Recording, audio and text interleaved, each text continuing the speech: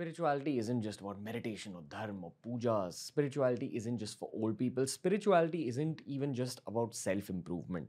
It's about all these things and so much more. The secrets of death, the secrets of the universe, the secrets of leveling up your mind in life. This and more in today's episode with Swami Mukundanand. Every three months or so, we host a spiritual leader on the show, and this episode, just like our other spiritual episodes, was rich, was enlightening, was calming, and was extremely educational. Remember, highlights of this episode are available on TRS Clips.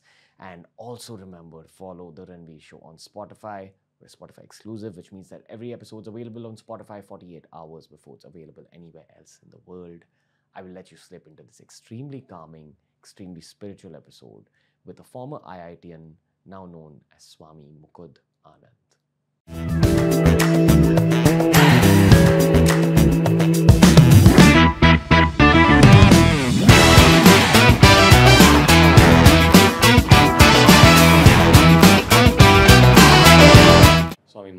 Mukundanand thank you for being on the Ranveer show, sir. Ranveer, I am delighted to be here and looking forward to today's conversation. You know, uh, before the camera started rolling, uh, we spoke about something very interesting. Uh, and I think it's so relevant to the times we live in, uh, where the world is so polarized. People have such strong opinions about everything. The moment you bring up even the word spirituality, there's a bunch of people out there who have a lot of negative uh, emotions associated with that word. They kind of look down upon that word. They look down upon people who maybe even are saying that word or promoting these concepts. And then there's a massive section of the audiences which honestly I feel have gone through things in life which have eventually led them into spirituality and they love these kind of conversations. I remember even myself, I was one of those people who laughed at like spirituality and meditation back in college. And now we're doing this where, you know, we're making content around it and it's become such a crucial part of my life and my audience's life. So, so this conversation for me is so special. As with any other spiritual conversation, I feel like these are the conversations I've actually started this podcast for. So, so thank you for being on the show again. Oh, I'm really happy to be here and I look forward to discussing something that is really meaningful and that can add value to the life of the people who are listening. Uh, so, so what's your take on this whole um, spirituality angle? What is it? What does it even mean? Spirituality brings meaning and purpose in our life. As we go through the journey of life, we are called upon to make choices. In this ethical dilemma, what should I choose? In this complicated situation, what should be my priorities? What should I define as the purpose of my life? And these questions are so important to everyone.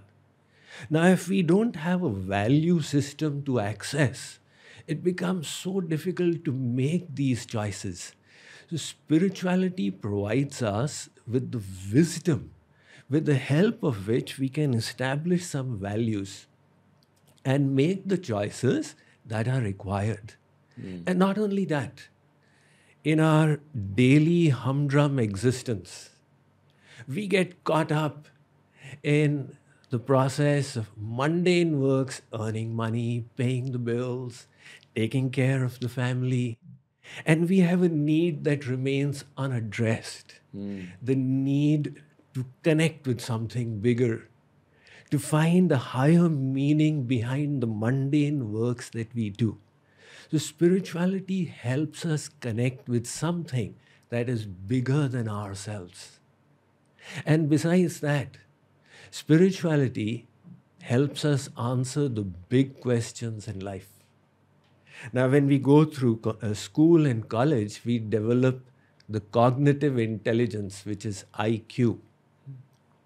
Beyond that, some people also develop EQ very well, where they can understand their emotions, they can empathize with the emotions of others, and they can master their emotions. But the question still remains what is the purpose of my life?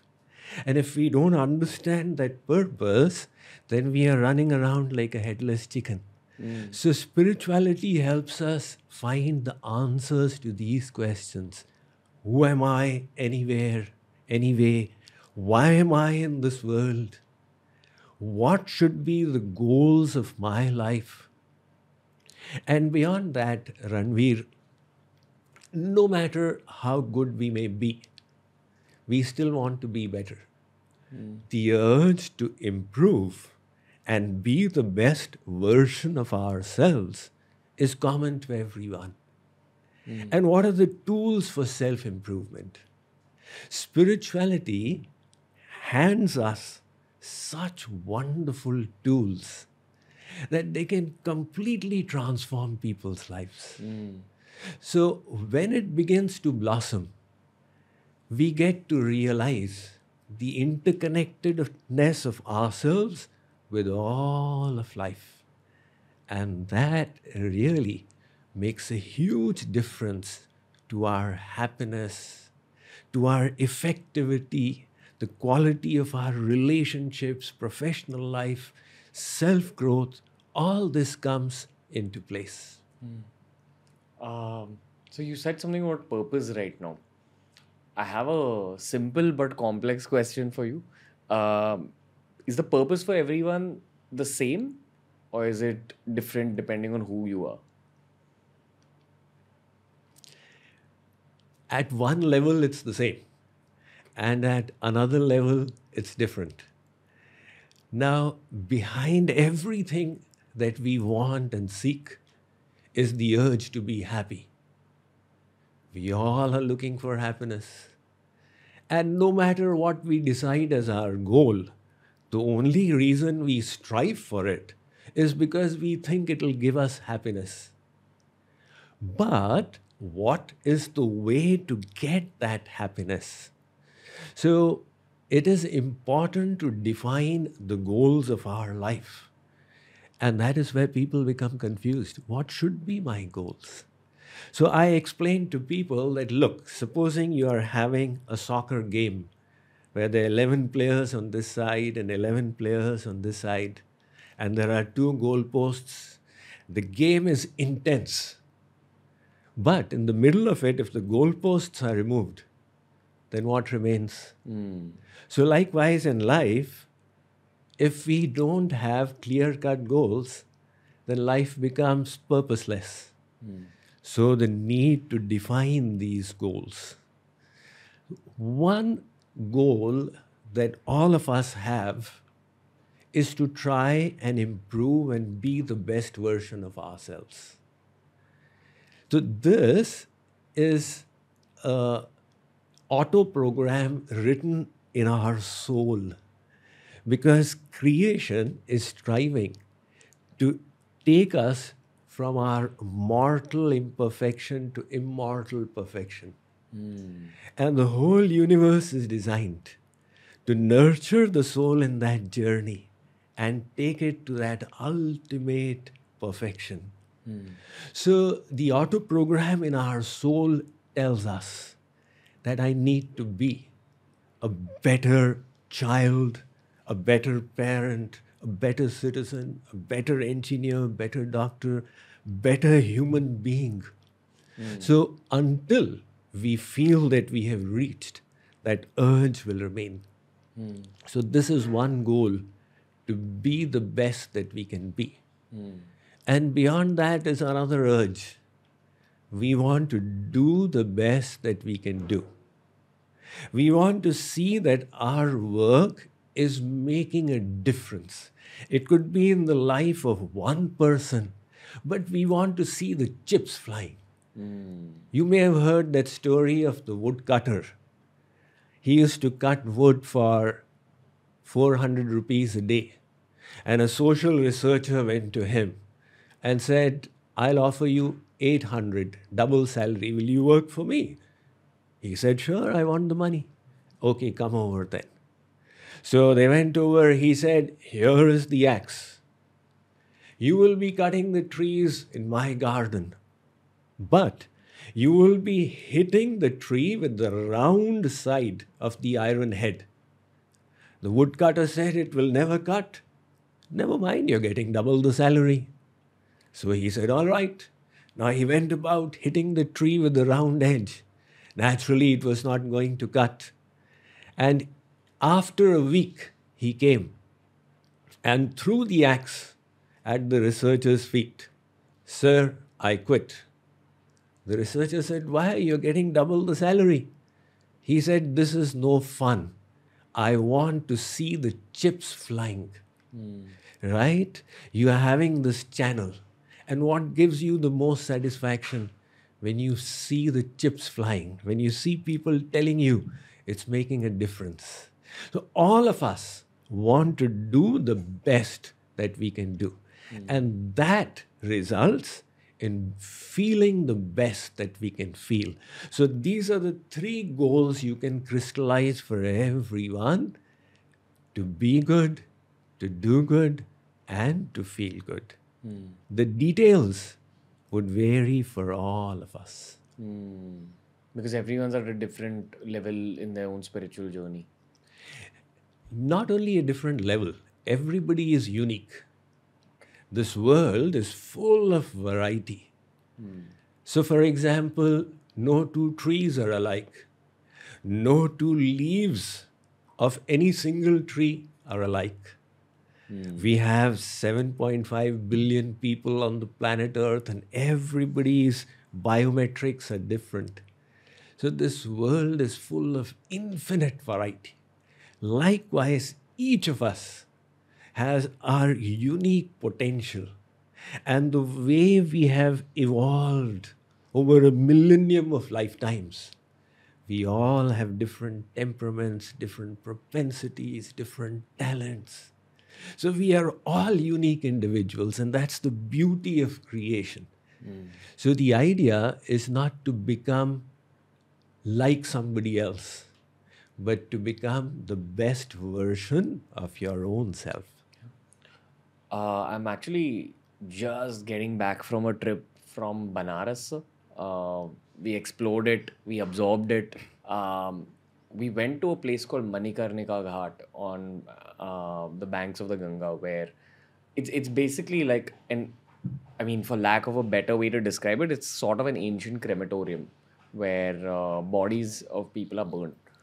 The one thing I, I noticed about seeing death there was that people didn't have a negative association with death in Banaras for some reason, as in specifically on Manikarnika Ghat. There was emotions flying around, there was sadness, but there was also this kind of strange emptiness. I can't exactly explain, or maybe that's the way I absorbed it. So, so when I went around asking people, I asked a friend of mine who's very well read. Uh, I was told that there's something very humbling about that place, Manikarnika. And anyone who goes there realizes that, you know, this is what your all your efforts, all your goals, all your uh, journeys end with. You end on a funeral pyre. You end being cremated.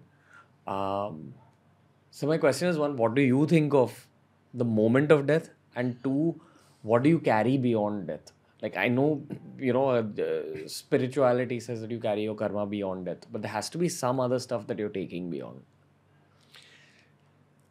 Death is the reality of life. And it's the only thing that is certain in life. That is why they say in English, as sure as death. Hmm. And life is literally a dead end because we are going all going to end in death. So people are disturbed about it because they don't accept because they don't accept that reality. However, when the sun rises, we know it's going to set one day. And when it sets, we are not disturbed. Hmm. So, when we see the phenomenon of death, rather than be shocked by it or be troubled by it, we should accept it and adopt it into our worldview. That is what the Buddha did. You know, he was living in a palace in the midst of so much of luxury. And astrologers had told his parents, don't let him see life or he will become detached. So they tried to protect him. But then one day he went out walking and he saw a dead person. He said, Oh, so death is a reality of life. I will die one day. And we all know he saw a sick person, an old person. So, death is a fact of life, but our scriptures teach us to understand it from the perspective of knowledge. So, the Bhagavad Gita says, Vasansi jirnani yatha vihaya navani grihnati naro parani. Lord Krishna says, Arjun, every day when you wake up in the morning, you take off your old clothes, have a bath, put on new clothes, but you remain the same person. Likewise, death is merely the soul changing bodies. And somebody in knowledge is not disturbed by it. So, if actually our body is changing in this life itself, we had the body of a little child, then a youth, then an adult. Likewise, at the time of death, we will again change bodies. So, we should decide that it is not something to be disturbed about, but what are we going to carry with us? At the time of death, the gross body is left behind. And there are two other bodies that are enveloping the soul that it carries along with it. The first is Karana Sharir or causal body. It has our sanskars, our karmas of endless lifetimes. And the second is the subtle body.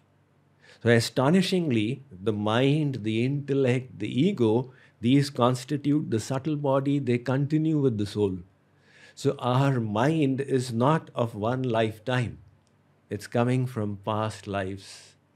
And that is why in childhood sometimes you get the feeling of deja vu. Oh my God, I have seen this before. Why does this seem so familiar? Right? So the French have this term deja vu, and we have an explanation for it that the mind is continuing from the past so some of the images, etc., from the past are embedded in the subconscious. Mm. So that is also continuing with the soul. Mm. Um, what What do you think? Um, what do you think your past was, sir? That you that you've chosen this life now. It's so interesting you ask. Very few people ask that question.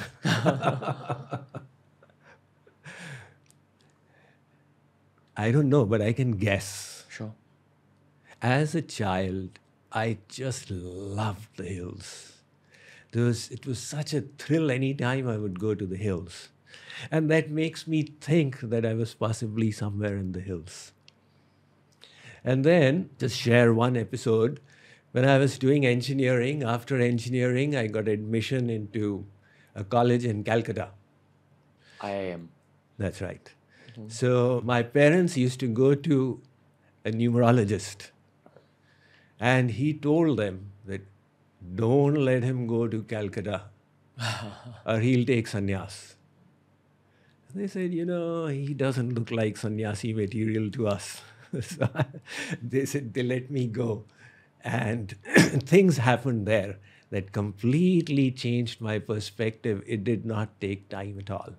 So it made me feel that those sanskars were there and it was all destined when the time came that switch got flipped and i just continued on the journey from there so what is sannyas for people who don't understand this word nyas means to renounce Okay.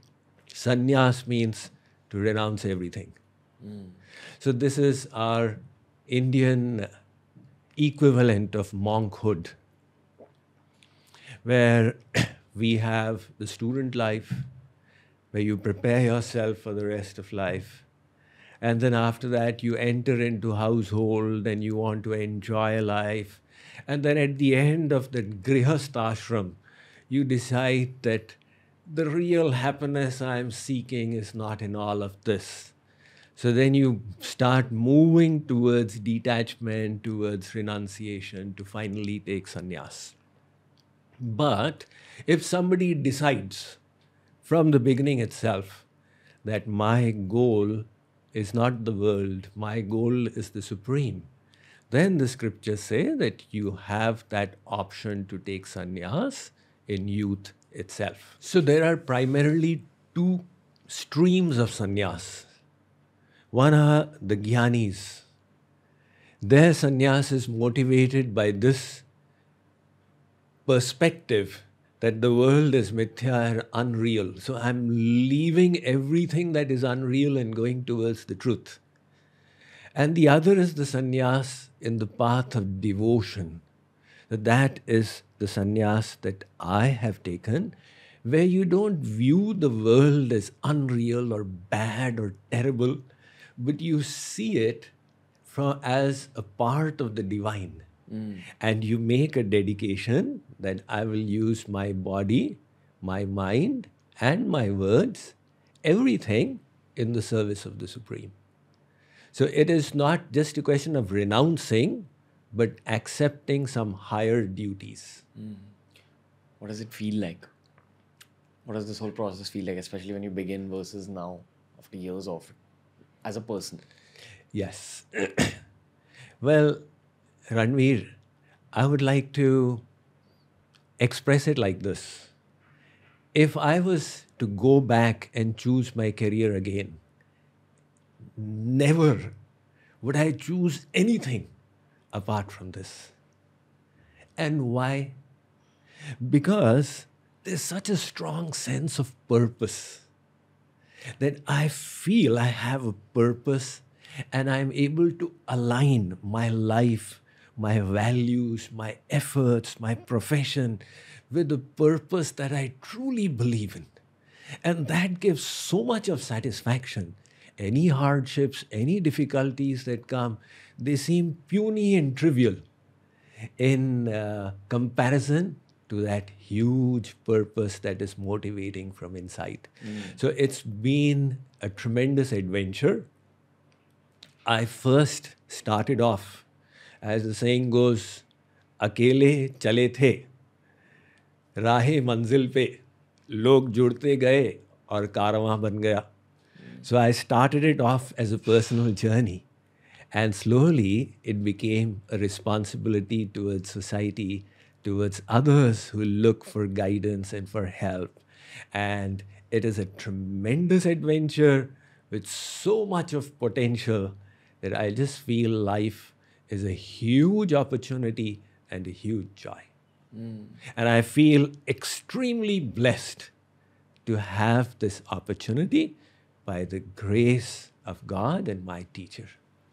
So, you know, I think one thing people don't understand about a spiritual journey is that, uh, especially when it begins or when it starts getting stronger, you encounter tests. And the tests could be anything from a lot of people getting cut off from your life, a loved one getting cut off in some form, um, you know, just uh, maybe a very big challenge which is sent towards you. It could even be a lot of power sent towards you to test your will in terms of will you do the right thing or the wrong thing with that power. So, I mean, while I'm sure that you've had countless tests in your own spiritual journey, um, I'd love for you to highlight one of your recent tests because I feel where you've gotten in your own spiritual journey is so f- far down, like that the further you get, the harder the tests get. Therefore, I'm asking about one of the more re- recent ones that what's happened lately that you have found maybe, for lack of a better word, challenging for yourself or your mind. Right. See, tests, we can have different perspectives towards it. One is, oh my God, here comes a test. Oh no, I've got to give another test. And the other is, this is an opportunity to come in touch with my weaknesses and to improve even further. Hmm. So a student studies hard, and the teacher who is teaching gives a test at the end of the year. Now, if the student says, No, I don't want any tests, the teacher says, How will you go to the next class? Right? So, tests are opportunities to progress further. If our value system says that growth is my priority, not comfort, So even in that test, we find opportunities for growth. So I think the biggest test is this that so many people look up to a spiritual leader, you know, for the wisdom that the leader is sharing. And it becomes a duty to actually live up to those values, to create integrity within, where we actually stand up to what people are looking us to be. So you have asked me about a recent test. Now, when this coronavirus struck, initially everybody was confused, you know, and people were becoming weak. So the test was how to keep the congregation strong, how to keep them motivated, how to keep them full of faith. So we just went through it day by day and how to retain faith in the grace of God. And the journey through the coronavirus was very interesting where there were so many realizations on a regular basis.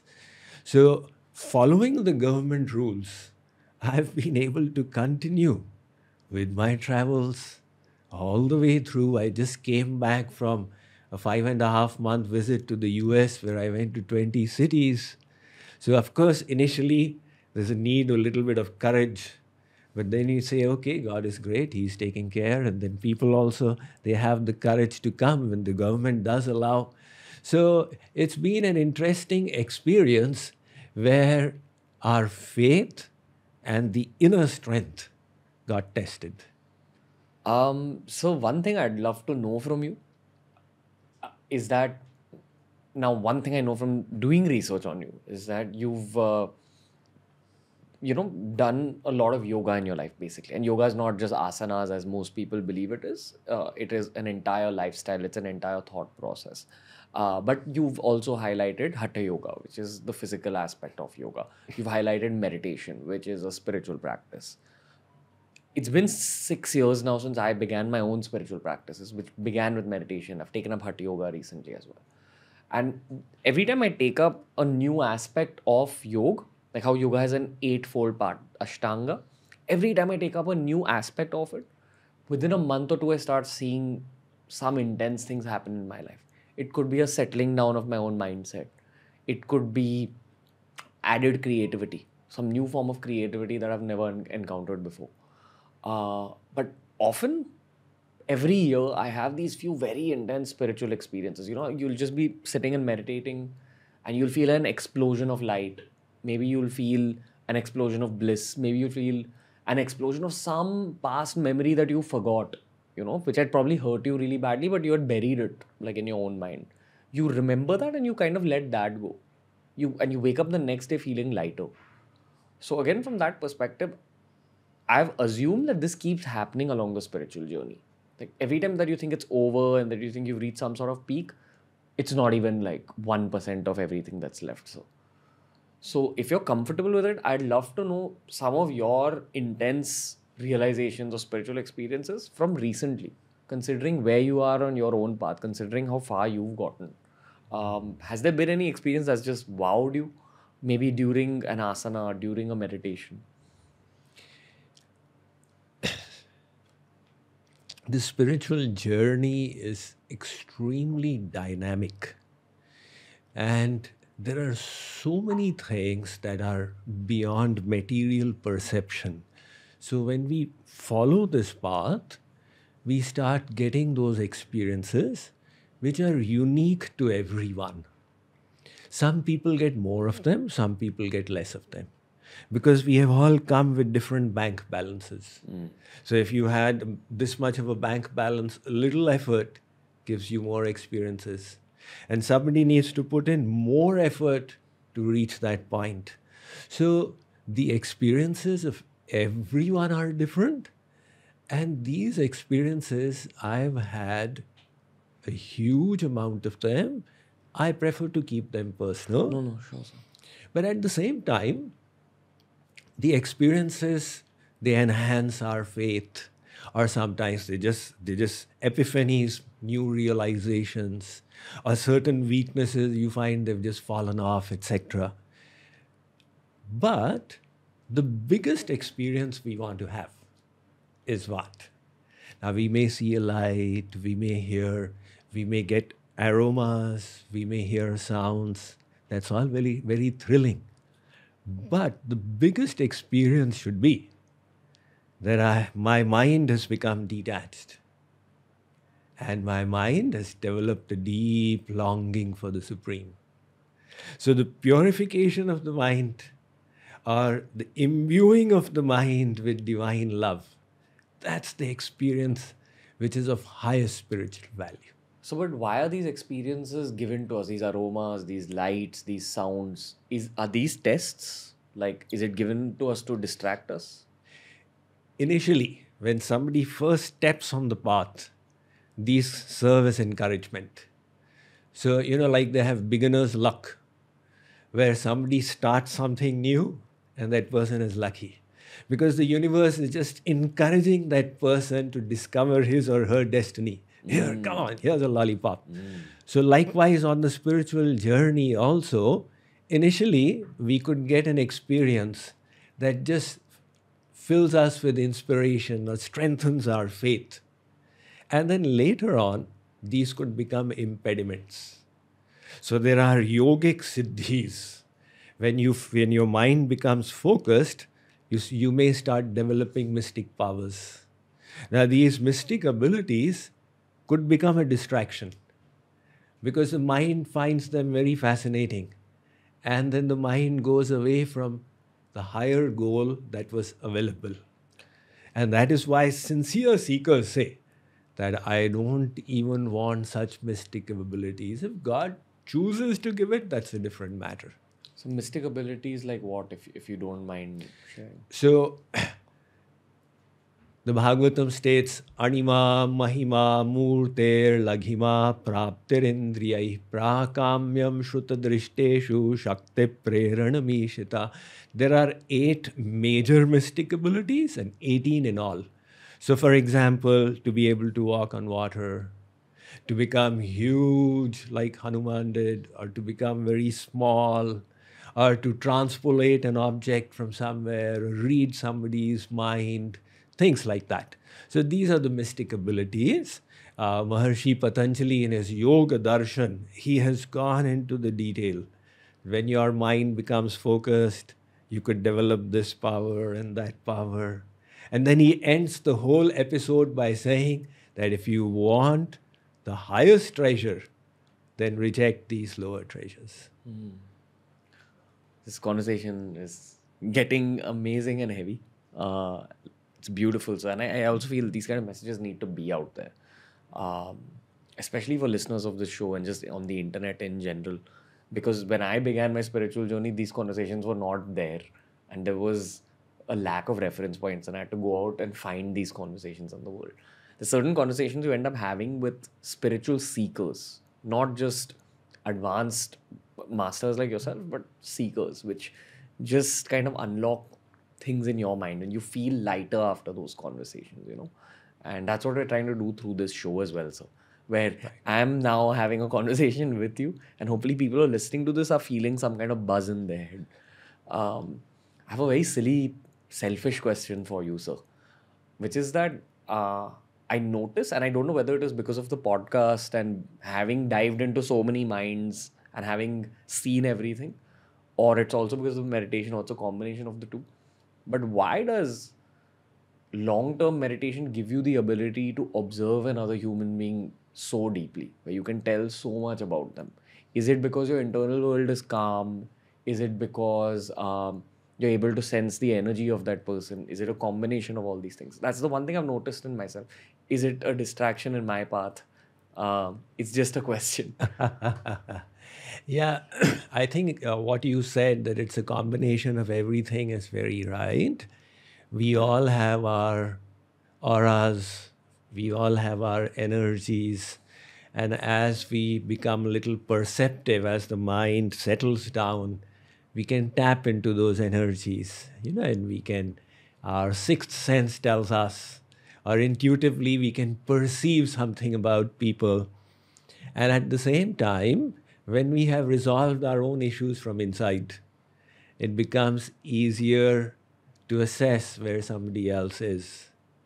So, possibly eh, likewise, when we grow in spirituality, we enhance our quality of empathy. So, empathy is not just awareness of our own emotions, but an awareness and a compassion for the emotions of others.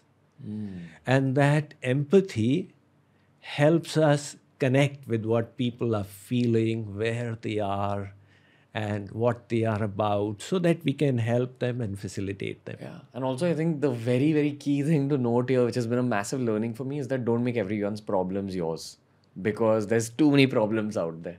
And when this had started happening to me and I felt the empathy increasing, I started feeling extra bad for a lot of people around me or people I encountered. And it, it was a massive learning curve for me not to take their pain and put it in my heart. That's right.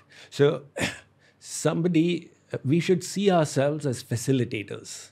Facilitators means that it's somebody else's journey. We cannot control it. See, parents often make this mistake. They want to control their children's lives. And then when it doesn't happen, they feel disappointed. So, a spiritual teacher realizes that everybody is on their journey. People will make mistakes. You give them the best of advice. They may make the mistake a thousand times before the learning happens. Hmm. So we have to give people that freedom. Hmm. So you just share the advice, make the wisdom available to others, but realize that they will take it at their own pace. We have to be willing to stand back. When we stand back, then we don't get affected. Um, so I have to ask you a very unrelated question, and uh, for the listeners of this particular episode, you'll be like, "Why is this question even come up?" And I have no answer to that. The question just popped in my head. Something I've been studying a lot of lately is astrophysics, which is you know the physics of the universe, black holes, the stars, and and the deeper you get into astrophysics, you realize that the universe is massive. It's just incredibly large. You don't even understand how large it is. If you think it's large, just read a little bit of astrophysics and your mind will be blown away by, uh, you know, how much more mega it is than you believe it is. Since you've read the Bhagavad Gita, since you've studied it, sir, since you've uh, read all these holy scriptures, uh, does any of the holy scriptures actually talk about the universe as in, you know, outer space, what's out there? Oh, yeah, extremely in great detail. So it's so fascinating, Ranveer. The Western world, about 700 years ago, only knew that the earth is flat. And they believed that the earth is the center of the universe. That was the geocentric theory. Then it moved to the heliocentric theory that the sun is the center. And our the scriptures in our traditions, the name they have for geography is Bhugol. The earth is round. They knew it all the while. And they have explained in so much of detail that there are five mandals, three trilokis, seven lokas. So the first is the Chandra mandal, whose lok is Chandralok. It is uh, rotating around a mandal called the Bhumandal, whose lok is Bhulok, the earth planet. But this Bhumandal is also not fixed. It's rotating around the Surya Mandal, whose lok is Swarlok. And the Antariksh, the space in between, is Bhuva. So this Bhu, Bhuva, Swa creates one triloki. But the Surya Mandal is also not fixed. Now, this I'm telling you from these scriptures, what they have described 5,000 years ago. That this uh, Surya Mandal is rotating around Parameshthi Mandal. And the Loka, the planet there is Janalok. And the Parameshthi Mandal is rotating around another Mandal, Swayambhu Mandal, whose Loka is Brahmalok. So all this, now science tells us that like the sun, in the Milky Way, there are a hundred billion suns. You know, and like the Milky Way, there are a hundred billion galaxies. which means that there are 10 to the power 22 suns approximately in this entire universe. However, now science is talking about the multiverse theory, right? That there are other universes as well. And the Vedas say, you know what? How many universes are there? All of this that you are perceiving is one universe. Like this, there are infinite universes. And each with one Shankar, one Brahma, one Vishnu. Hmm. Can I tell you a little story? Sure, sir. It is said that once Brahma went to meet Lord Krishna in Dwarka. And he asked the gatekeeper, Tell Sri Krishna Brahma has come to meet him. So Sri Krishna asked the gatekeeper, Tell him which Brahma is he. He asked, Brahmaji was astonished, Is there any Brahma apart from me? So he tell him, the four-headed Brahma, the father of the four Kumars. The gatekeeper said, Sri Krishna called him in. So Brahmaji on coming, he said, Bhagwan, what was the meaning of your question, which Brahma? Is there any Brahma apart from me? So Lord Krishna smiled. By his Yoga Maya, he called the Brahmas of innumerable universes, and they were all coming and offering their pranams. And our Brahmaji saw that there is one Brahma who's got a thousand heads. Mm. So our Chaturmukhi Brahma said, How big will be his universe? And then there was one Brahma who had one lakh heads, and one Brahma who had one crore heads, and one Brahma who had one Arab, one billion heads. So দেখি চতুর্মুখী ব্রহ্মা হইল চমৎকার কৃষ্ণের চরণে আসি করিল নমস্কার Our Brahmaji fell at the feet of Sri Krishna. Sri Krishna said, Brahmaji, there are infinite universes. Yours is the smallest. That is the extent of God's creation. And all of this is one fourth of creation. This is the material realm. And beyond this is three fourths, which is the spiritual realm, where this Maya, this Kal, this Karm cannot go. So that is when we say God is great, that's how great He is. What's out there in the three fourth?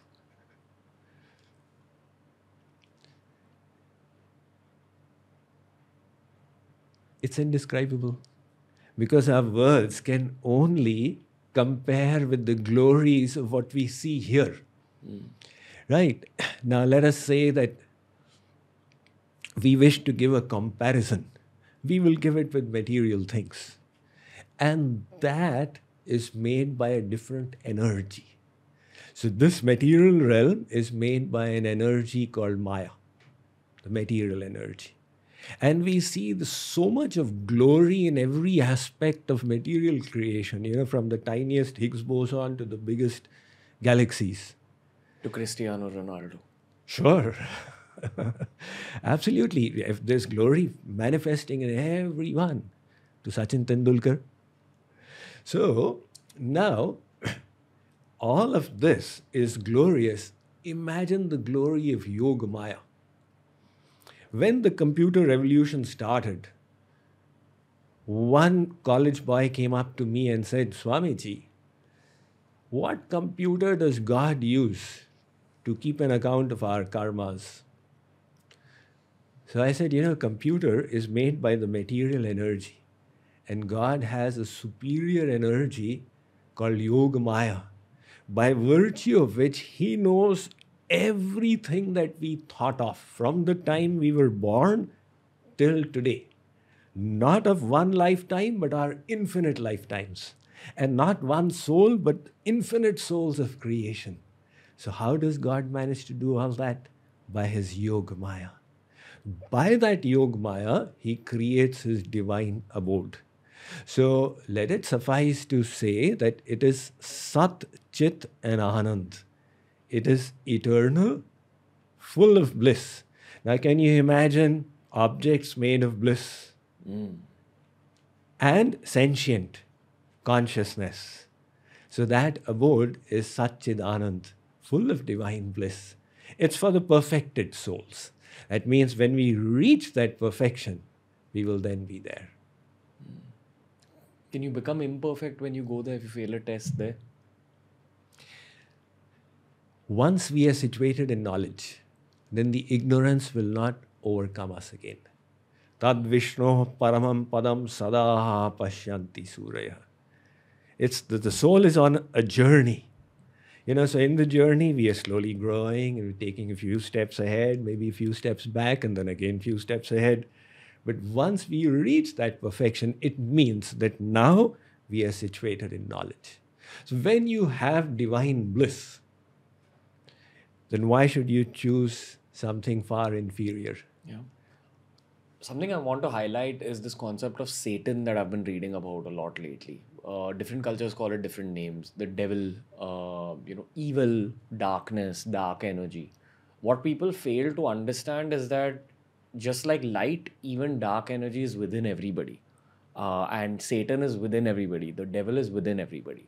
It's just about the proportion of the light versus the dark inside you that actually causes you to think in a certain way or act in a certain way. Or uh, be calm versus be you know an overthinker. Be uh, positive versus be negative. Be afraid versus be brave.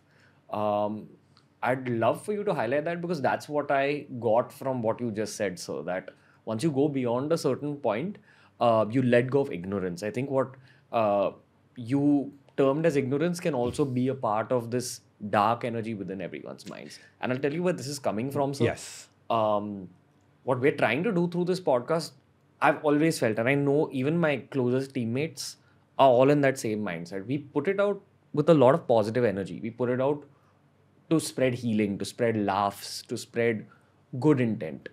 Um, and that's what's given us material success, and that's what's given us numbers and everything that we've gotten. Now, there's a lot of people who are looking at us where we are right now without understanding the six year journey we've been on. Someone who's followed us from the beginning understands the things we say now, but someone who probably sees us now doesn't understand why we're saying what we're saying, or why we're talking so much about the things we're talking about, and makes a lot of assumptions about us. So, uh, you know, in interviews, when we are interviewed as YouTubers, we often get asked, Does hate affect you? So, hate doesn't affect me, but hate definitely creates questions in my mind in terms of why are these people thinking like this? Like, one of the words associated with me a lot is pseudoscience because I, I have questions like these, like the questions I've asked you. And I'm sure that word gets thrown at you as well. So I went and asked a spiritual friend of mine that why is this happening? You know, what am I doing wrong? Is it something I need to improve within myself? And that person told me that hold on, understand the concept of Satan first, and understand this concept of the balance of light energy and dark energy. So, one of the outcomes of increasing the light energy within yourself is that all the other dark energy in the world will try pulling your light down. And that dark energy is already within these so called haters' mind, or these so called critics' mind, or these doubters' minds. And possibly the dark energy is not liking the amount of light and positivity you're spreading in the world which is why it manifests as people which are like trying to pull you down, which go out of the way to sabotage your career. Uh, and you have to just accept, flow with it, also forgive. You need to understand that it, in many cases, it may not even be those people themselves. It could be their past experiences which have manifested as dark energy, which is trying to now uh, pull away your light and pull away your positivity. So the key is to not get affected and keep doing your thing with laser sharp focus, and that's what's worked for me. But I'd love for you to highlight, uh, I don't know, this conversation a little more. So So, uh, Ranveer, when we bring in the concept of Satan, then the world becomes extremely complicated because there's this being from which a whole lot of hatred is coming. And if we say that there is an all loving creator, then where did Satan come from? Who created Satan? If that creator made Satan, then the question arises why did he make Satan? Right? So, as per the Vedas, there is no such Satan. There is the material energy, Maya. Now, that material energy, we can say, is trying to trip us. It's making us angry, desirous, greedy, proud, etc. So, these are all the, the, the soldiers of Maya that are within us, that are within the others. And also externally, they are, they exist, and you can put them in your bodies. Sure. So, but the point is that Maya also is not an enemy as such. It is also an energy of God. So, from our point of view, everything is connected with that one. And that is why sometimes the scriptures say, Nanyadyat sadasat param paschadaham yadetacha yova shishyeta sosmyaham. In the Srimad Bhagavat, Lord Krishna tells Brahma that Brahmaji, when creation did not exist, I alone existed. Everything that is existing in the form of creation is my expansion because the energies are coming from the energetic. Like the fire emanates the heat and light, so they are one with fire. So all these energies are my expansions. Where creation ceases to exist, beyond that, what is there? I exist. And when creation will be dissolved, I will remain. So there's nothing apart from me. That material energy does seem to be opposing us.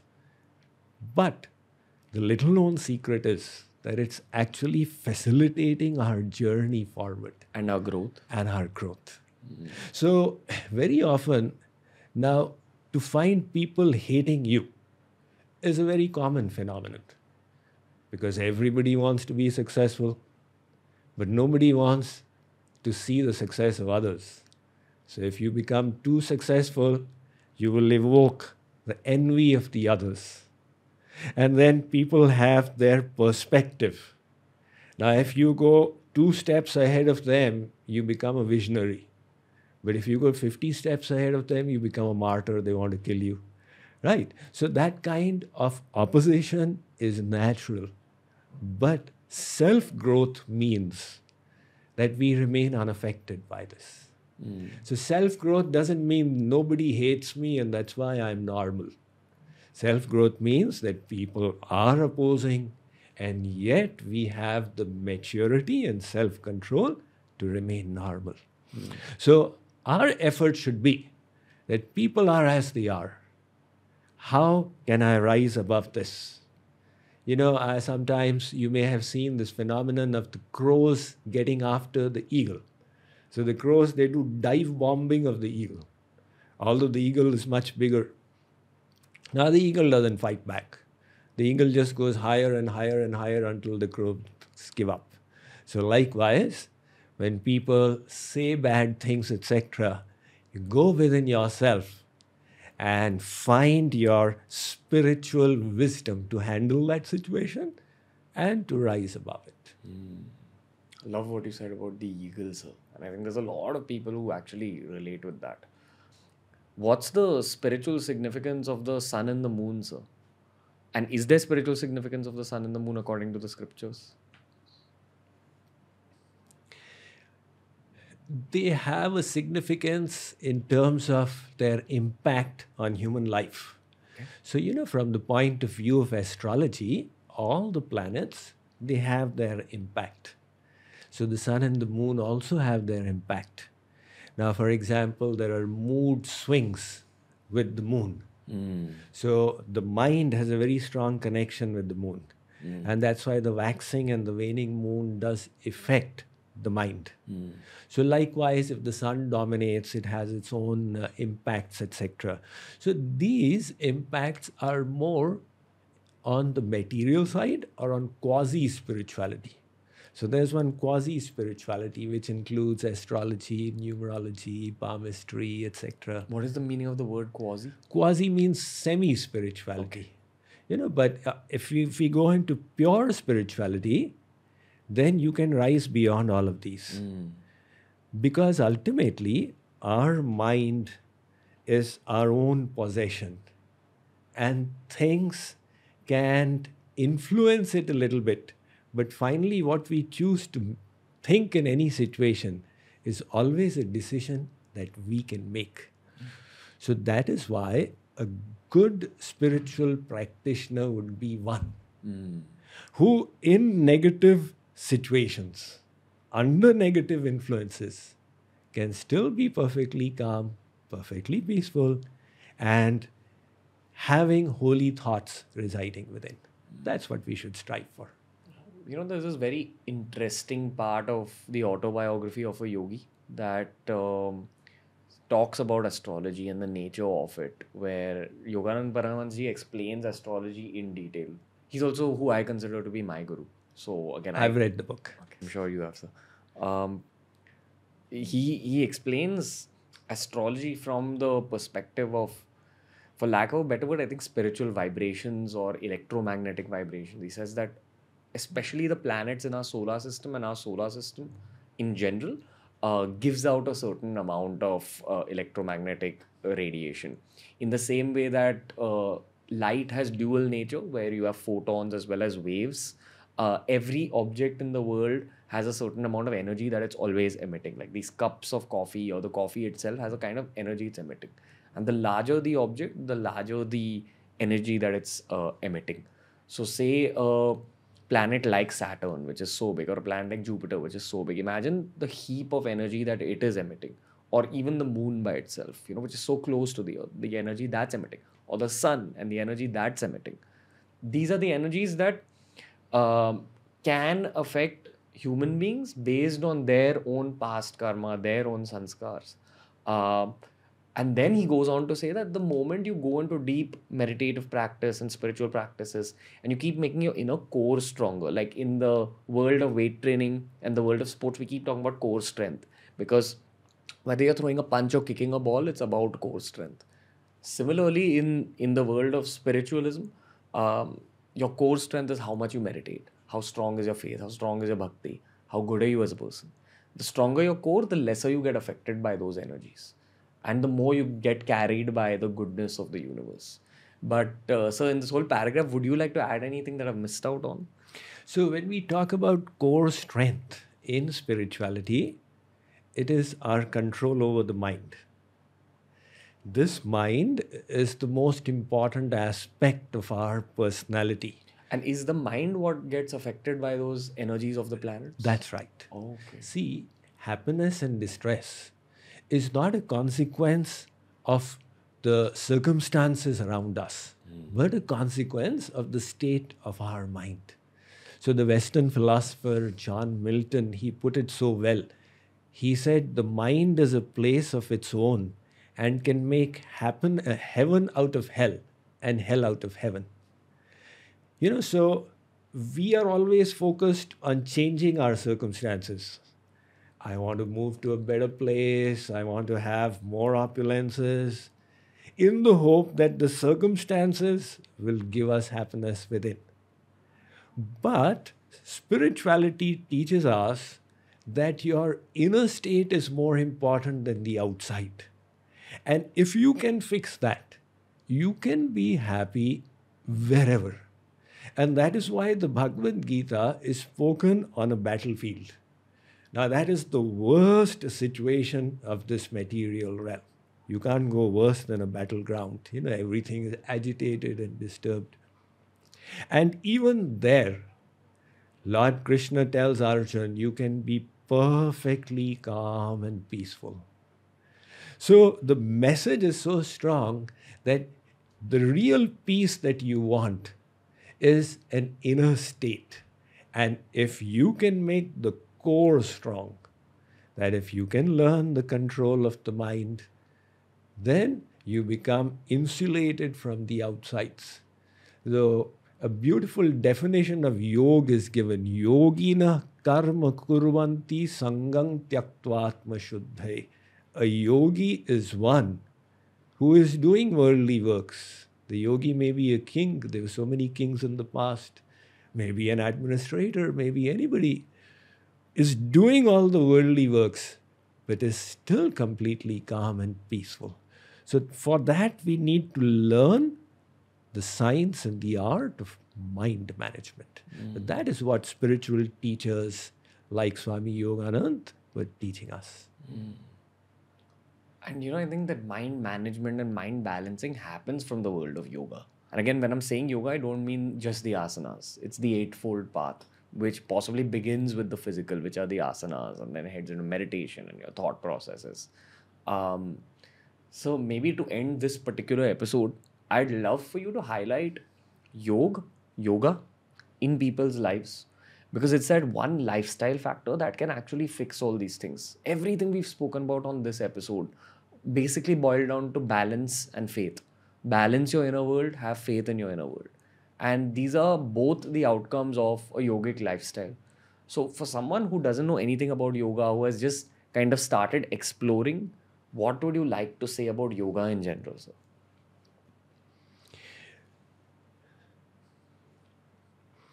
In the Yoga Vasisht, there's a conversation between Bhagavan Ram and his Guru Maharshi Vasisht.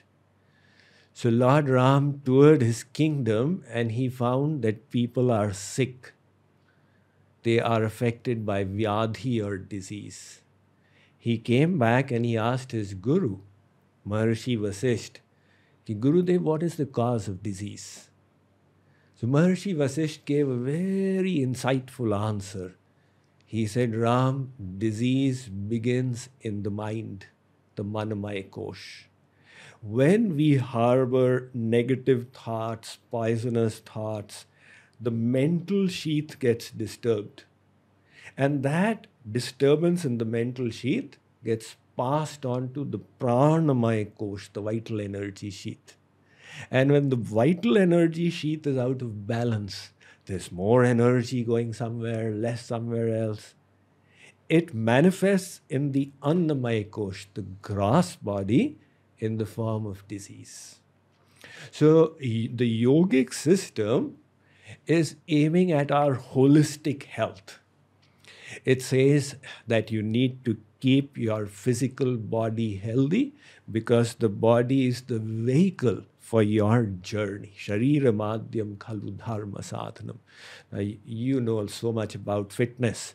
You need four kinds of exercises to be healthy. You need the stretches and the flexes. You need the aerobics for muscle strength. You need the cardio to work your heart. And if you can also add to it balancing postures, particularly in old age, or inverted postures to nourish your brain that would make a perfect mix.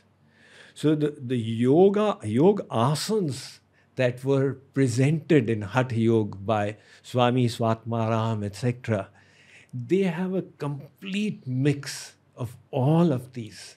So it is so amazing that they understood our physical body so perfectly. Now, somebody has backache, they go to a physiotherapist, and the physiotherapist tells them the exact exercises that were taught in our yogic system thousands of years ago. But then, this physical asanas is not enough. You need to address the vital energy sheath, right? And for that, we have the pranayam. Now, Baba Ramdev brought about a revolution. He emphasized the pranayam. And pranayam is said to be even more important than the yogasanas because it is addressing your cellular health there are 37 trillion cells in your body, and pranayam is nourishing all of them. But then we have to go beyond to the mind. Now, if the mind is not addressed, it'll again then undo everything else that was done. And that is why in holistic wellness, we say that you need to be a positive thinker, be optimistic. And that is where meditative techniques come in that give us tools for managing our mind. But then, these are only three koshas the Annamaya Kosh, Pranamaya Kosh, and Manamaya Kosh. There is another kosh beyond this, which is Vijnanamaya Kosh, the intellectual sheath. The mind will only be controlled when the intellect holds right values. If the values of the intellect are skewed, then you say, okay, control your mind. So how will I control my mind? My mind is hankering for this and hankering for that. So to improve the values, we need wisdom. And that is where this sacred wisdom, divine wisdom comes handy. And there's one final sheath called the Anandamaya Kosh, the bliss sheath. ultimately it's all about happiness. We all want happiness. And where you decide happiness lies, your life starts veering in that direction. So we have to discover happiness within ourselves and not be like the kasturi deer. You know, the kasturi deer has the kasturi inside and it's running around outside for the kasturi, not realizing it's within. So, likewise, we are hoping that the outside things will give us happiness.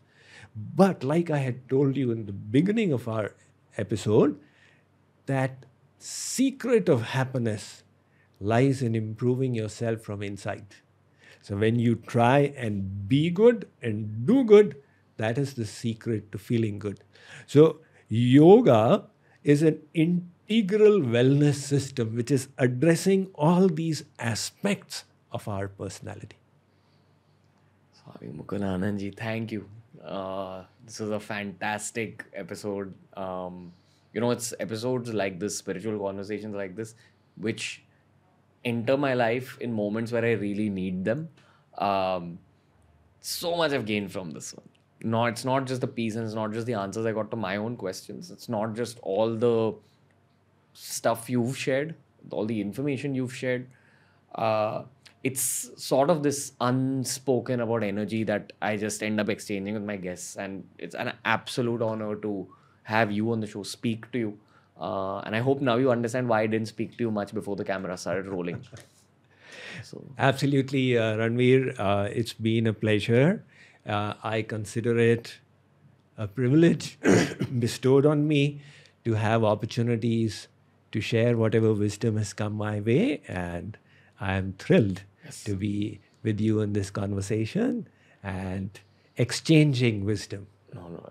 I, it's much less of an exchange than it is just a gift from your end to us. So it, the privilege is ours, and uh, hoping to do more episodes with you uh, going forward. So because as I have got to know recently, even God is a being that is constantly evolving. So what are we? You know, we are on our own evolutionary paths, and I'm sure if I even meet you a year from now, even your wisdom would have like uh, increased just a little bit. So, really hoping to have you on the show again, sir, and create more with you. Definitely, Ranveer. It'll be my pleasure to have uh, many more such interactions. I look forward to them. Thank you, sir. But maybe before we end this episode, uh, is there any advice you have for me, sir? Any advice for you? Yes.